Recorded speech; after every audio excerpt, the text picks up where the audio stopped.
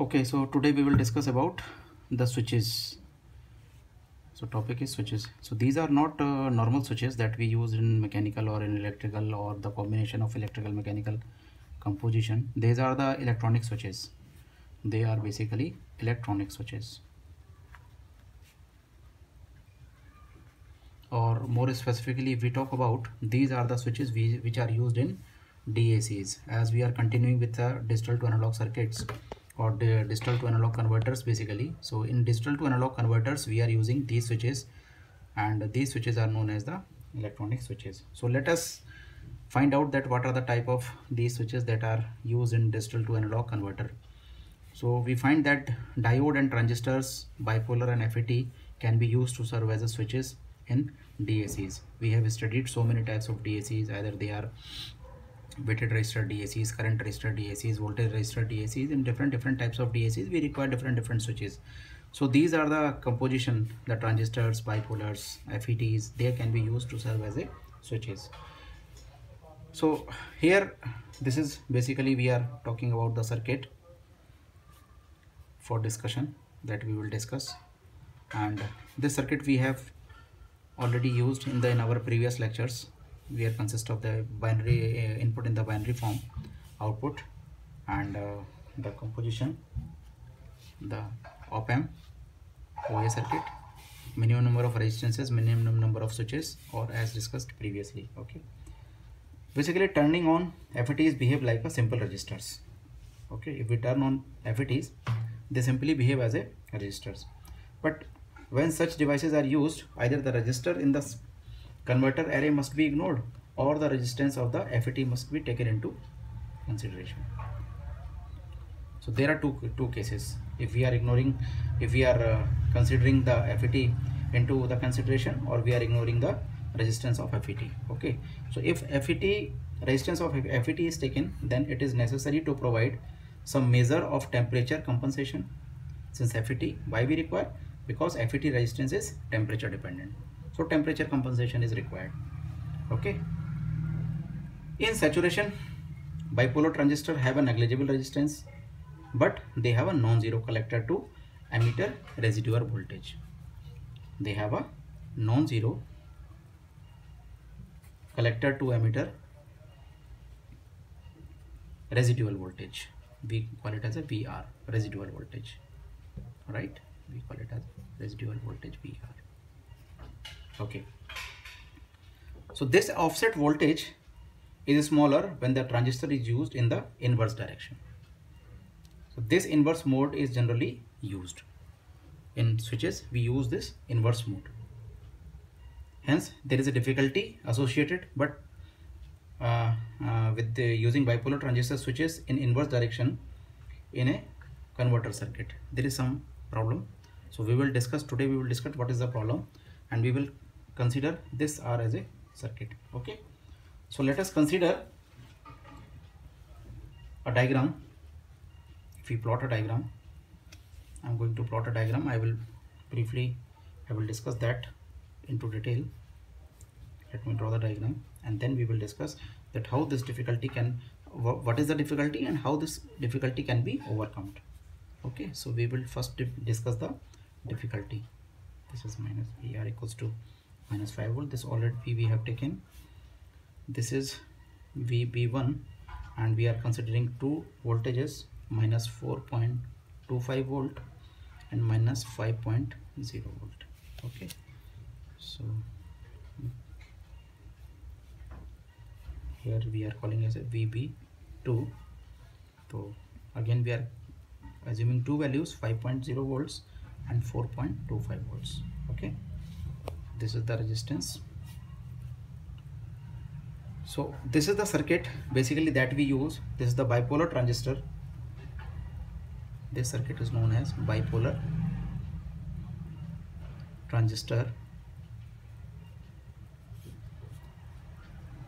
used in inverse mode. And how it is used? As a switch. It is used as a switch so this circuit we will discuss here the resistance re this resistance re represent one of the converter resistance this is one of the converter resistance that, that we are considering. Each transistor is being used in the circuit in the inverse mode with a normal collector junction serving as a emitter junction. Okay, I will repeat. The resistance Re represent one of the converter resistance and each transistor is being used in the inverse mode with normal collector junction serving as a emitter junction. Now assume there are some assumption that we take into the consideration to explain the circuitry. The first assumption is that the transistor is in cutoff region. The transistor is in cutoff region. So when the voltage across the base collector junction is zero and in saturation when base collector junction is forward biased to the extent of 0.75 volt because this is the voltage that we are giving to the base. So this is my uh, forward bias voltage up to 0.75 volts.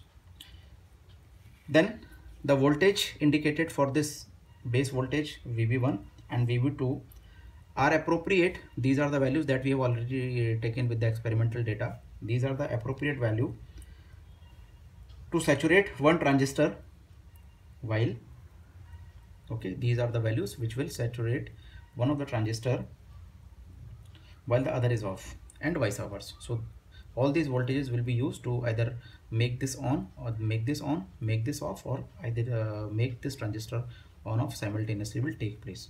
Okay. So in this way the ungrounded side of RE is connected to this one ungrounded side this is connected to either minus 5 volt or plus 5 volts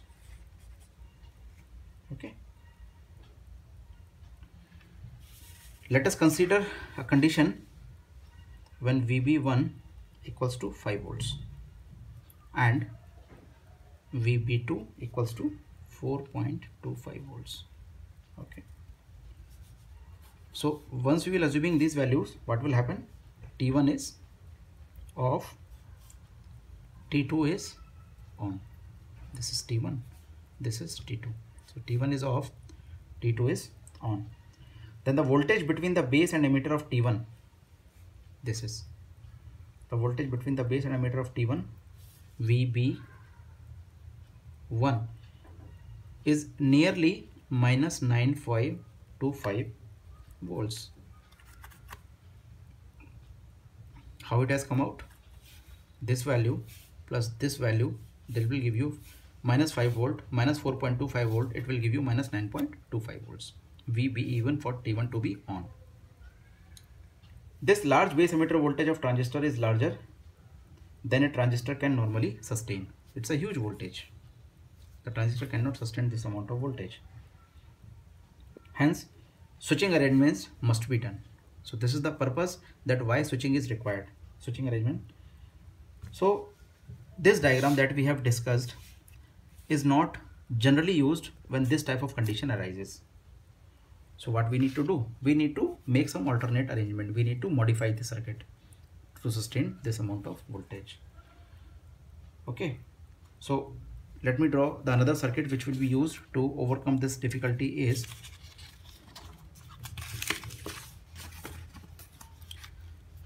I'll take again T1 transistor T1 this is my VB1 this is my resistance R B1 this is connected to the input binary input BK okay.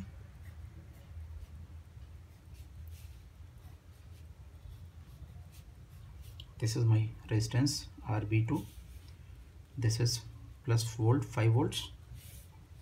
Here we have connected RA and connected to VG so here we can write VB1 equals to VB2 equals to 5.75 volts minus 5.75 volts. These are the two values. This is my VB2 this is T2 and here we are applying minus 5 volts. Okay. Basically we call it as a emitter follower this circuit is known as emitter follower used as a switch okay? So this is the model.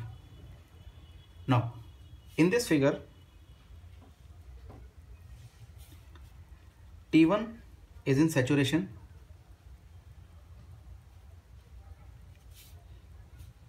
And we find from the circuit that VE is approximately equals to how much? It is equals to 5 volts from the circuits. VE emitter voltage. Okay. While T2 is off. So when this is on, this is off, we find that base emitter voltage VBE are same for both the transistors how they are same? They are equals to VB E1 equals to VB E2 equals to 0.75 volts. In the second case this is my first case. In the second case T2 is on and T1 is off.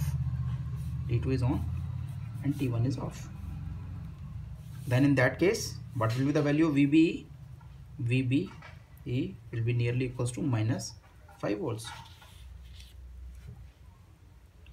Okay. But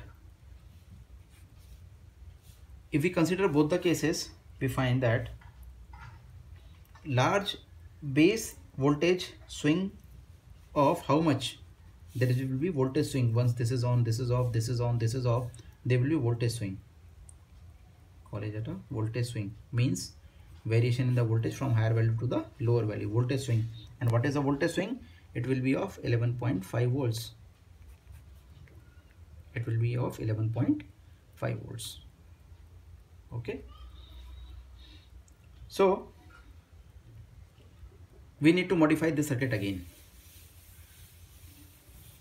Why we need to modify? We need to modify this version to reduce the base voltage swing to this voltage must be lower down to the value of 5 volts. This swing is not acceptable. This swing is required. This is not acceptable. This is required. This is required. Hence we will draw the modified circuit. So let us let me draw the modified circuit. The modified modified uh, circuit will be look like again will be a transistor like this. Resistance plus 5 volts.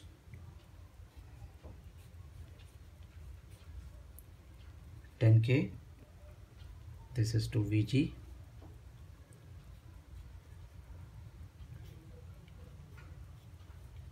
minus 5 volts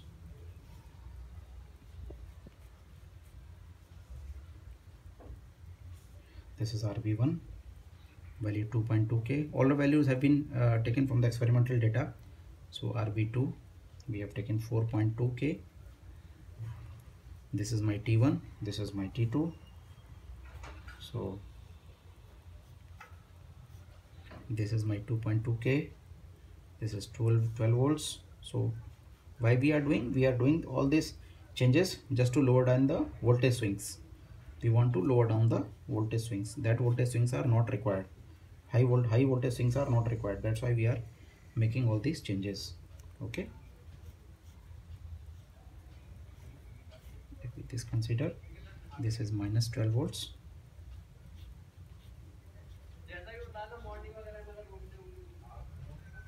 Okay. 2k 2.2k